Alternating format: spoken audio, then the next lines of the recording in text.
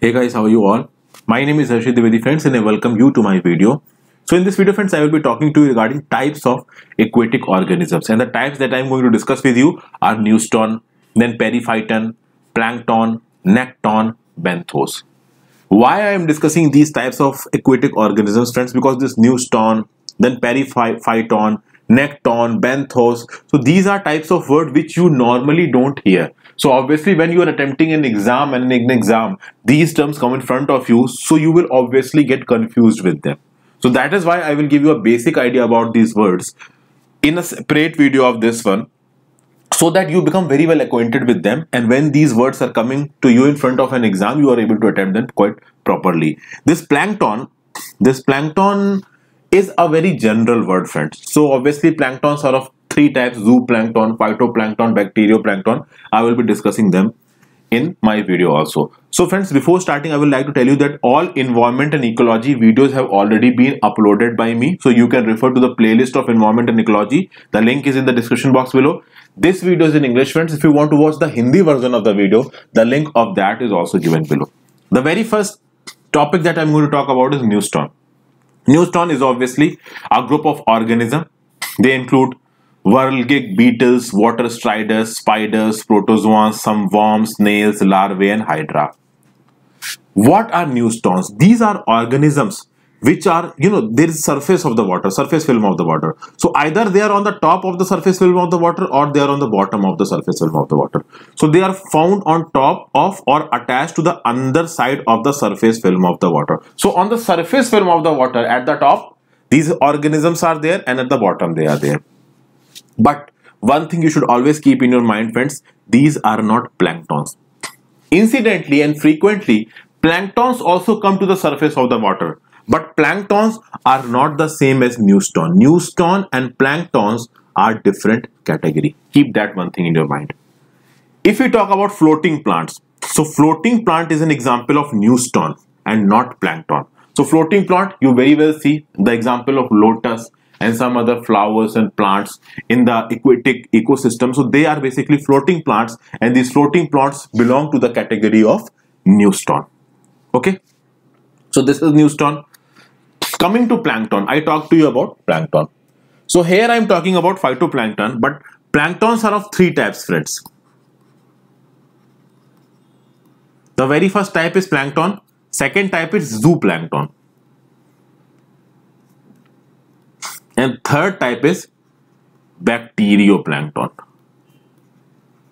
This is the normal classification of planktons. Okay, so planktons are floating organisms algae, diatoms, protozoans, larval forms, they are actually planktons. Now, as I told you that there are three types. Phytoplankton, so this phytoplankton, they have chlorophyll in them.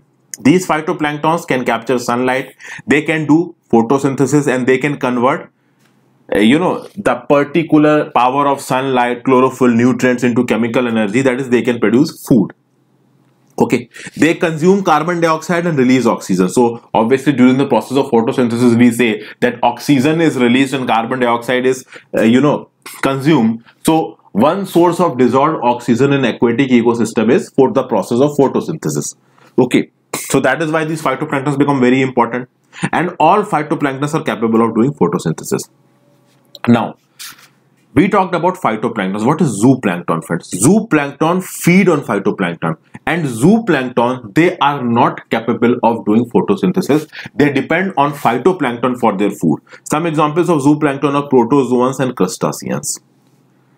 Now, when these zooplankton feed on phytoplankton, some small fishes feed on zooplankton. So basically phytoplanktons are eaten by zooplanktons, zooplanktons are eaten by small fish, small fish are eaten by bigger fish, bigger fish are eaten by whales and dolphins and etc etc.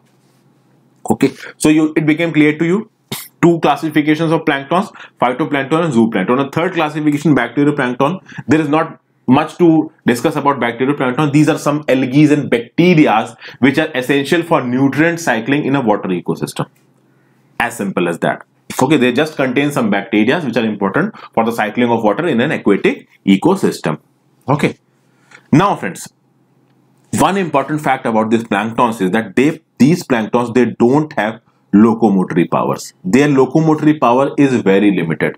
So obviously what will be the distribution of plankton will be decided on the extent of currents in the aquatic ecosystem. So what will be the flow of that aquatic ecosystem that will decide the distribution of plankton in an aquatic ecosystem because planktons on their own can move very less. Their locomotory power is very, very limited, almost non-existence. So they move according to the currents of the water. This is basically phytoplankton.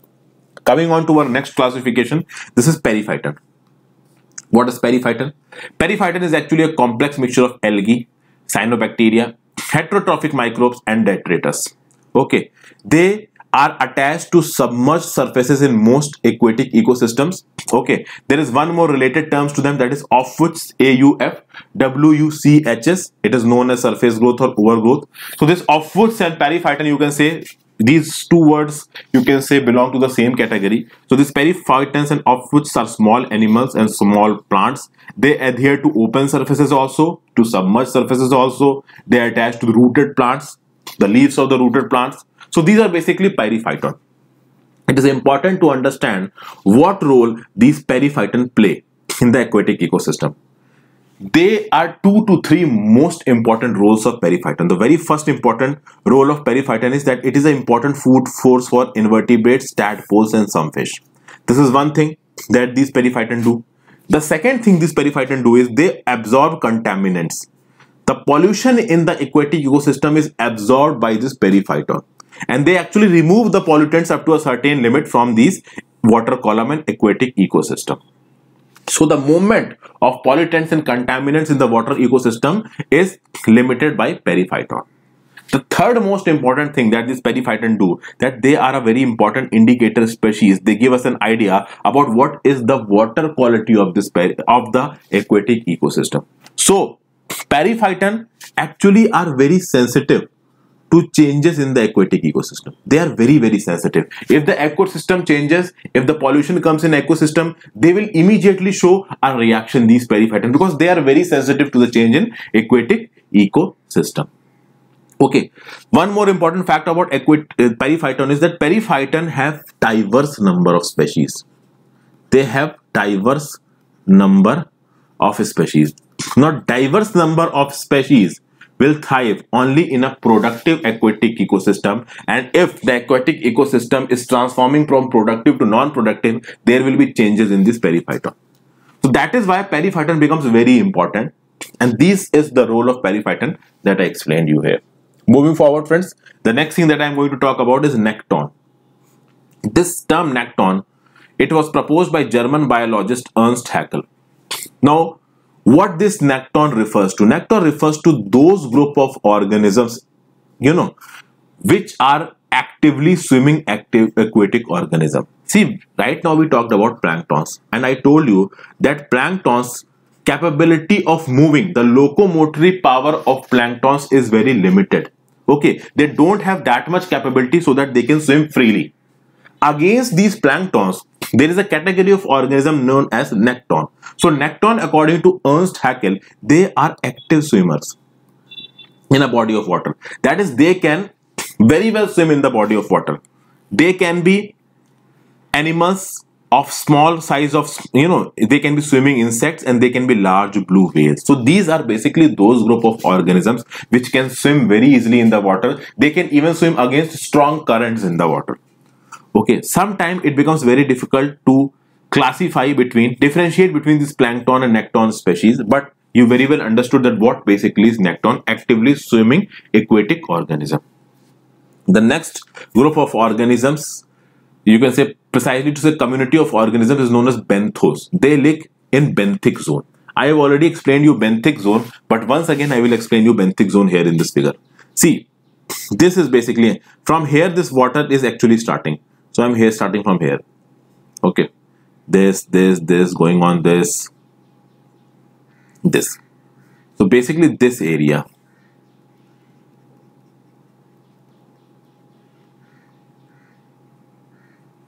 This area actually comes under benthic zone. So benthic zone is actually attached to the bottom of the water. See friends water is here. You can see the water level is here. But the land is here. This is abyssal plain. So obviously the bottom land So the waters which is near the base of that particular water body that comprises the benthic zone. And it is not that that benthic zone will be present at the deep ecosystem. The moment the water starts, benthic zone also starts. Okay, so benthic zone can be on the coasts also and benthic zone is also present in the deep of the oceans also. So benthic zone is present everywhere. It is also present in freshwater ecosystems like pond, water, pond, streams, lakes. It is also present in marine ecosystems, for example, sea and oceans. Okay. So basically these are the community of organisms that live in the benthic zone. Or you can say that live near the seabed, river, lake, stream bottom, they live in the benthic zone actually. So this community lives in marine water, freshwater sedimentary environments. It lives in tidal pools, lives in continental shelf, it lives in abyssal depth. So basically here you can see this much is continental shelf, this much is continental slope, this much is abyssal plain. So obviously these benthic zone and benthos are formed in everywhere. Now, one important fact about these uh, benthos are that, for example, in oceans or in a deep lake, suppose I am talking about an ocean or a deep lake. So here you can see the bottom of the lake is somewhere here or the ocean is somewhere here. So this will be actually benthic zone. So when the water column is high, it will be putting a huge amount of pressure on the benthic zone. So obviously when the pressure of the water from the top is quite high in this benthic zone, the organisms that are living deep inside the water body in the benthic zone they have adapted themselves to high pressure. Okay.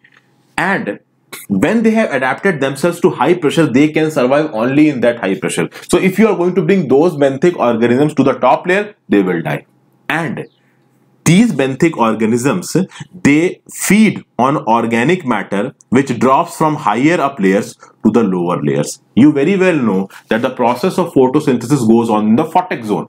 So there all the primary production is done. And when that primary produce the organic matter after decaying goes downwards these benthos feed upon them so you can say they feed upon the dead and decaying matter. So benthic food chain contains a lot of dead and decaying matter. They are also known as scavengers, detrivores. So a whole lot of scavengers and detrivores are also present in this benthic zone. So a big amount of detritus food chain is also present in the benthic zone.